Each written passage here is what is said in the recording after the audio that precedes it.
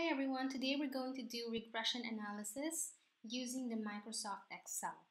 Now the first thing is that we want to make sure that we have the right tools in order to do the analysis. And so we go to the toolbar and click Tools, and then we go to Excel add-ins. We have here two options or two choices, which would be the Analysis ToolPak and the Solver add-in. What we're interested in would be the Analysis ToolPak, and so we check it. The reason why we want the Analysis ToolPak is because it provides data analysis tools for statistical and engineering analysis. And so we click OK. Now we will look for the Data Analysis ToolPak, and so we go to this tab here and click Data, and to the rightmost, we have the data analysis tool and we click that as well. Now we see here a lot of options for analysis tools and what we want would be the regression tool and we click OK. So in this box here, we have two sections. We have the input and the output options. Input options is where you input, as the name would suggest, your data values and the output options will show you the different ways of how to show the results of the regression analysis. So we go first with the input. Before anything else, it is important that you're able to identify which of your data values would be the y or the dependent variable or which of them would be the x or the independent variable. Moreover, when doing regression analysis, you can do two things. One can be a simple linear regression, and the other could be a multiple linear regression. With simple linear regression, you're only dealing with two variables, one independent variable and one dependent variable. On the other hand, for multiple linear regression, you can employ two or more variables.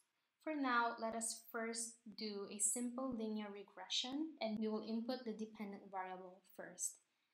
So we have here labeled y or the dependent variable for the number of weekly riders and we highlight the data values included in it.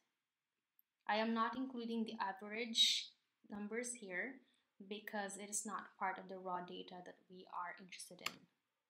Now next would be to input the x range or the independent variable we have here a lot of options or a lot of independent variables, but since we're only going to do simple linear regression, let's just choose one. And for this, we choose the price per week labeled as X1 and we highlight all of the data values. Let us choose a confidence level of 95% or an alpha of 0.05. So this is for your input. Now, next would be the output options. Like I said, this is how you'd like to see the results of the regression analysis.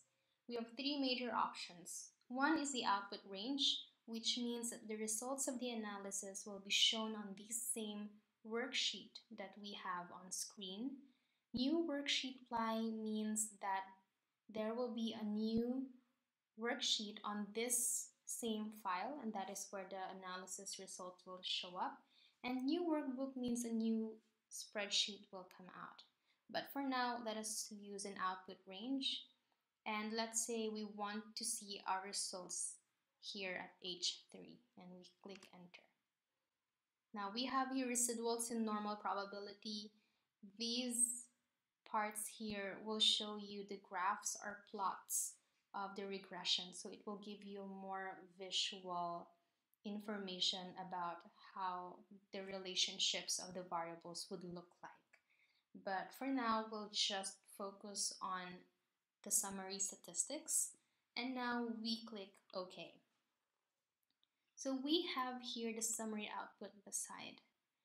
The first thing that you need to look at would be the significance level of the regression analysis. We have here the regression statistics, the ANOVA, and then the coefficients. In order to know the significance level of the regression model, we look at the ANOVA. And I'm going to highlight here the significance F. right? So the rule is if it is below 0.05 or the alpha that you have chosen, which is for our case 0.05, then it is considered as a significant model. So why is it like that? In hypothesis testing, when the value is below 0.05, as in for the p-value, it means that it was not able to step out of the rejection area, and so you reject the hypothesis.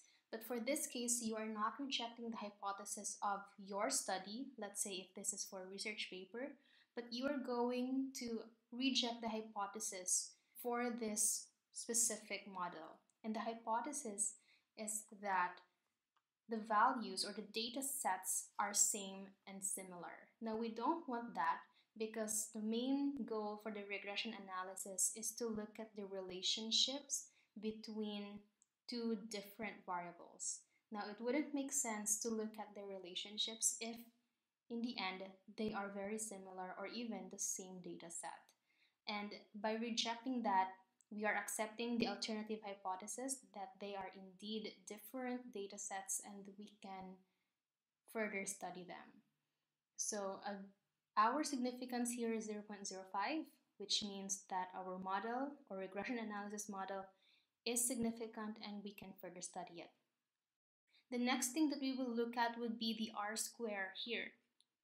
Now, the closer it is to 1, the better because it means that it has a stronger goodness of fit. Now, what does it mean? A goodness of fit means that the predicted value using the equations of regression is closer to the actual values that we are seeing uh, here. So these are the actual values. So we have a very strong goodness of fit or strong R square, which means that we can proceed and study this. The rule of thumb as well is that when it is 0.2 and below, it's not very much recommended to continue studying it because it renders the whole thing or the whole model insignificant. However, you also need to look at the context of it. If your study is centered on people or it is a very people-centric study, then a 0.2 R square or below that may be justified because the behavior of people are not easily measured and since there are a lot of people and a lot of characteristics or a lot of personality types, there is a lot of variances in their data. So 0.2 and below can be justified. Now, Next, we go to the p-value or the significance level of our variables. So we go to this section here below and we look at the variable x variable 1 and its p-value.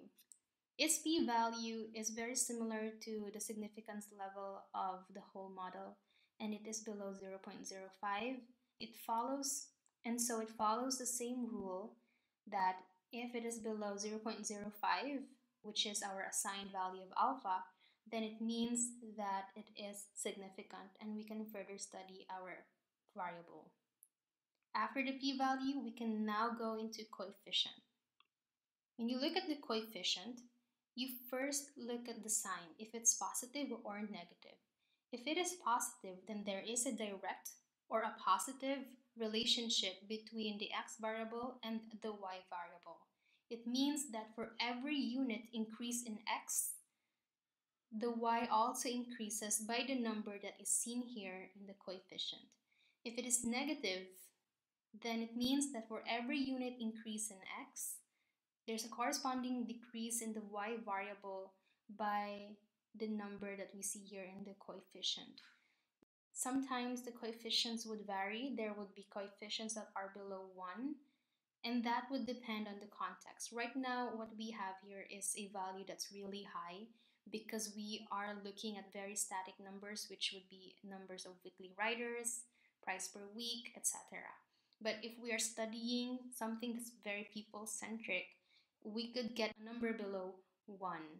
And it is treated differently because if that is the case, then the 1 here in the coefficients is considered as 100% and the closest the number is to 1 the stronger the relationship is between the variables. For but for this one, we can't really say that there is a strong relationship. It's just showing you values of how much y would decrease for every unit of x variable. So let us try to write this down as an equation. So as an equation, we have y, or number of weekly riders, is equal to negative 744.748674x plus the intercept that is 197.208.3412. What does this mean? It means that for every increase of x, there's a corresponding decrease in the number of weekly riders by 744.74874. And if the value of x is 0, or the price per week is 0, the number of weekly riders become 197,208.3412.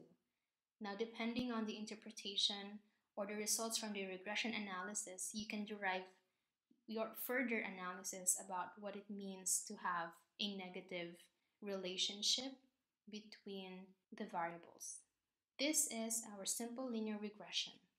Now let's go to multilinear regression, which means we're going to include all the other variables that we have here. So we're going back to data by clicking this tab, and then we go to data analysis and choose regression. We're going to retain the input y range because we're going to study the same dependent variable, which is the number of weekly riders.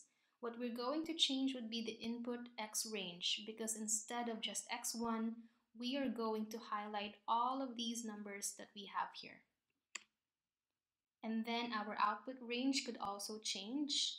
Earlier we had it at H3 cell and if you don't change it, everything here that you have will be overwritten. So make sure that you choose a different cell unless you're okay that the result here would be overwritten by the new result.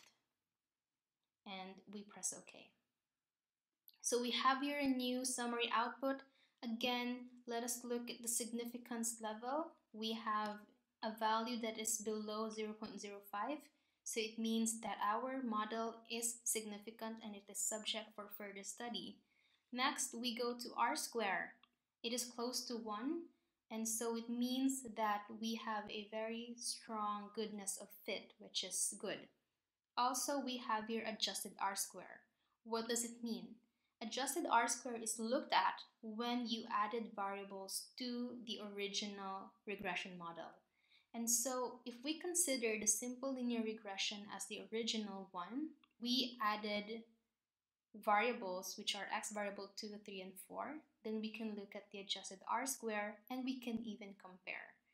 So before the r square is 0.933, and when we added new variables, the adjusted r square becomes 0.9356 and it actually improved so it means that by adding variables it improved our model and it is also a strong goodness of fit and so we move on to the p-values. I'm going to highlight here the p-values for the different variables that we have. For the x variable, similar to the previous model, it is below 0.05 and so it is significant. As for x variable 2 and x variable 3, they are they are greater than 0.05 and so it means that these variables are not significant in relation to our y variable, which is the number of weekly riders. And with that, these variables are eliminated and are no longer subject for further study. For x variable 4, we have 0.051003698. Although if you round it up, it will give you 0.05 but then by actually looking at its number, its raw number, it is actually higher than 0.05 by 0.001. And so we still reject it. Now, we will only focus on the significant variable and the next step is to look at the coefficient. For the coefficient, we have here a negative 689.5227, and it means that Since it is negative, every unit increase in x variable 1 gives you a decrease in variable y by 689.522.